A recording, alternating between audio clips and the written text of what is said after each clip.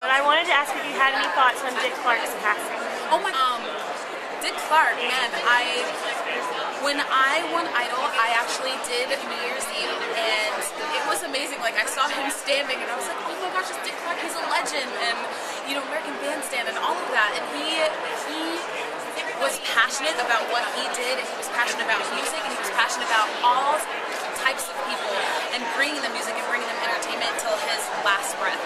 And um, up to. I know Ryan is going to do an amazing job with it. Um, I loved how he helped out for the past couple of years when um, kind of had slowed down a little bit. But um, I hope he rests in peace. I'm praying for his family. I know it's got to be super difficult.